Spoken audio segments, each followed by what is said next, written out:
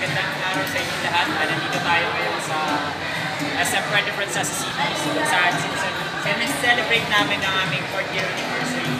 Ah, by the way, sa mga hindi nakakaalam, I am a member of Art of the Moon. So, ah, tara, tingnan natin kung ano yung mga nandito na artworks. Actually, meron din ako artworks dito. So, una-una ko muna ipapakita sa inyo. Oh, hindi, mamaya na lang. Ito Mamaya na lang.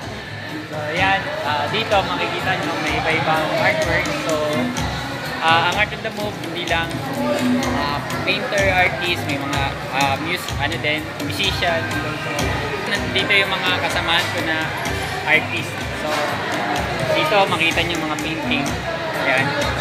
Tapos, meron din rubber cut. May rubber cut. Ayan, dito sila Ate Wendy. So dito makikita nyo dito yung uh, uh, uh, rubber cut gawa ni Kuya Lordy. So yan. Uh, pwede nyo dito rin si Ate Clegg. Shoutout kay Ate Clegg na nasa, nasa ibang bansa ngayon. Balik ka na. Dito kay Kuya Mike. Ito si Kuya Mike. Nasa kay Nakikita mo dito. uh, kay Eunice, kay Guy. Yung dito. Kay Chris Edward, kay JM. Marami pa, marami pang artist dito. So, visit kayo dito sa SM Puerto Princesa, second floor. Second floor ba, tama? Okay, second floor.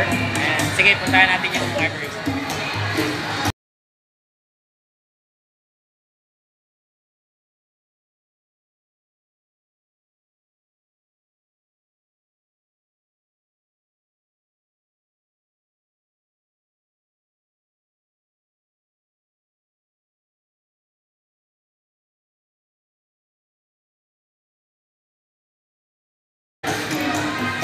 Hey, yun! Tada! Yeah, this is my artwork. Cut, cut ko pa to. Nagbabalik. Kasama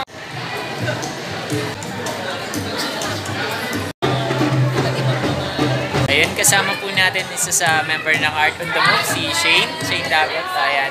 Ah, ito yung kanyang pangalan. Ayan. So, ah, follow niyo siya sa Facebook and may YouTube ka ba? Ah, meron.